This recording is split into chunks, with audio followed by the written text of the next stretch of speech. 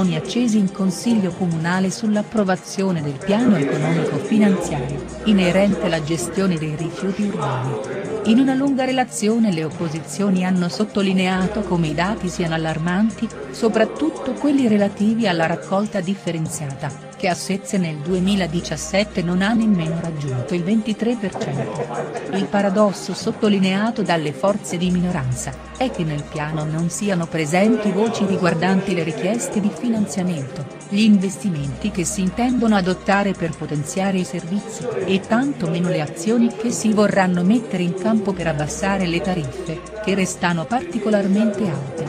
Ulteriore paradosso, sollevato alla presenza del vicepresidente della provincia, Giovanni Bernasconi, è quello che vede l'ente setino, in qualche modo premiato da Via Costa, nonostante le percentuali irrisorie. Bernasconi ne ha spiegato i motivi, poi il nuovo PEF e le tariffe, aliquote sono state approvate con i voti della sola maggioranza.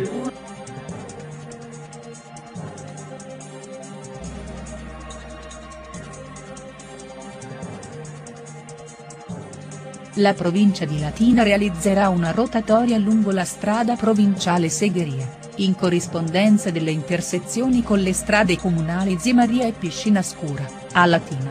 Siamo davvero soddisfatti, commenta il presidente Giovanni Bernasconi, per l'avvio dopo anni di questa importante opera per tutti i cittadini pontini. La sua realizzazione permetterà di risolvere un nodo critico della rete stradale, e inciderà positivamente, oltre per la sicurezza, anche sulla qualità dell'ambiente. L'opera è stata condivisa in sede di un tavolo tecnico, con i tecnici e la Polizia Municipale del Comune di Latina e la Polizia Stradale. L'importo complessivo è di 120.000 euro, e per la copertura economica si è proceduto ad avviare la devoluzione dei residui dei mutui accesi presso la Cassa Depositi e Prestiti, data l'incapacità di indebitamento dell'ente prevista dalla legge e da fondi di bilancio. Arrivano tre nuovi comandanti nelle stazioni di Terracina e Priverno. A Terracina si è insediato il nuovo comandante del nucleo operativo e radiomobile della compagnia Carabinieri, si tratta del sottotenente Silvio Bencivenga, proveniente dall'ufficio personale del Comando Legione Carabinieri Lazio, che ha assunto l'altro ieri il comando.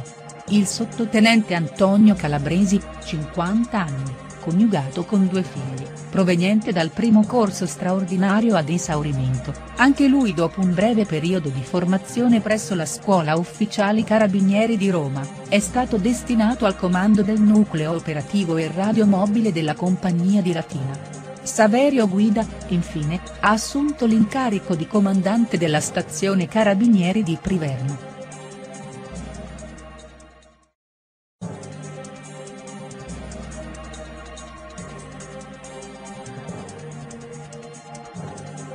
Si è concluso il progetto Articolo 3, Sermoneta contro il razzismo, con la cerimonia finale di premiazione del concorso di poesie. A vincere per la categoria ragazzi è stato Alessandro Nardecchia con Diverso da chi, per la categoria bambini Clarissa Bersani, autrice di Caro Razzismo, e per la categoria adulti Antonio Scarsella con La fame e la paura hanno la pelle nera. Le tre poesie, sono state selezionate dalla giuria composta dall'assessore Antonio Di Lenola, dalla giornalista Lucia Guarano, e dall'insegnante Carla Di Vincenzo, che hanno dovuto scegliere tra 180 elaborati. Una mostra con i circa 200 disegni dei bambini è stata allestita alla Biblioteca di Ponte L'intitolazione della rotonda di via Polusca ad Alessandro Mammucari, prevista per oggi, non ci sarà. Il sindaco Coletta ha deciso di rinviare la cerimonia. In attesa, che in un nuovo provvedimento, si individui un altro luogo della città da dedicare alla sua memoria. La consigliera Mattei ne ha dato notizia nella seduta della Commissione Governo del Territorio e Toponomastica da lei presieduta. Il vice sindaco Briganti ha poi sostenuto che la scelta operata dal sindaco è volta a costruire, con la famiglia Tassone, un percorso amministrativo che regolarizzi l'attività di manutenzione della rotonda. I commissari presenti hanno convenuto sull'opportunità di sospendere l'intitolazione. Già nella prossima seduta si valuterà quale spazio poter dedicare ad Alessandro Mammucari. La nuova sede della ludoteca comunale di Gaeta, nel plesso scolastico Virgilio, è stata inaugurata. Da Via dei Frassini questo importante luogo di gioco, dedicato ai bambini dai 6 ai 13 anni, è stato infatti trasferito nei locali della scuola in piazza Monsignor di Liegro, completamente rinnovati in modo colorato e funzionale, e sistemati per accogliere al meglio i giovani ospiti. Il taglio del nastro è avvenuto nel pomeriggio di sabato 24 marzo, alla presenza dell'assessore alle politiche per l'infanzia Antonella Vaudo, del presidente dell'associazione Orus, cui è affidata la gestione della ludoteca, Adriano Nardone. La ludoteca comunale è aperta da lunedì al venerdì dalle ore 15.30 alle ore 19.30.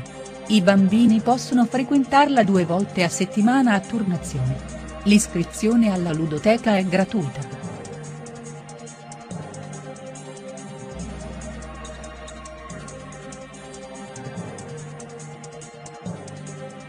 La storia sociale di Bassiano raccontata attraverso i nomi delle sue famiglie. Sarà presentato sabato 31 marzo, all'Auditorium Comunale alle 11, il secondo volume del manuale, Famiglie di Bassiano dal XVIII secolo ad oggi. L'opera raccoglie il testimone di quello che, nel 2000, fu il primo volume redatto dal parroco di Bassiano Don Angelo Lambiasi.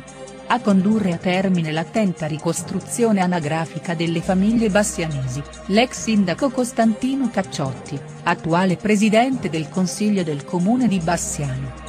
Abbiamo ricostruito la storia sociale di questo paese, spiega Cacciotti che precisa, sebbene sia solo un appassionato di storia, ho sentito il dovere morale di riprendere un lavoro interrotto dai sindaci che mi hanno preceduto. Oggi lo studio di ricerca è un manuale che consegniamo alle future generazioni, affinché non siano mai recise le radici che ci legano a questo luogo.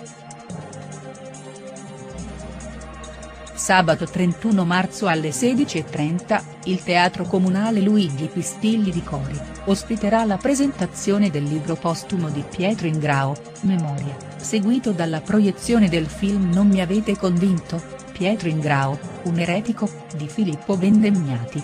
L'appuntamento è promosso dall'amministrazione comunale per riflettere insieme su un'epoca che oggi appare assai lontana ma che pone interrogativi pregnanti su cosa rimanga dell'eredità storica e culturale di quegli anni e di quel modo di fare politica.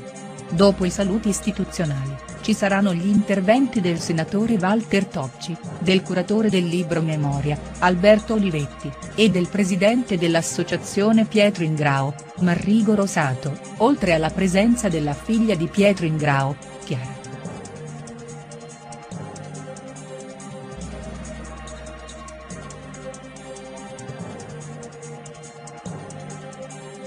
Il Real Caffè Mocha Sirs Sabaudia, esce sconfitta dall'ultima sfida prima della sosta pasquale, ma resta al sesto posto della classifica del girone B del campionato. La squadra allenata da coach Daniela Casalvieri, ha perso 3-1 la sfida con la Virtus Roma. Durante la partita il pubblico ha raccolto fondi da devolvere alla famiglia di Sabrina, la sfortunata mamma della zona, per la quale la città di Sabaudia si è mobilitata, visto che dovrà subire una ulteriore operazione chirurgica, dopo le complicazioni relative al precedente intervento.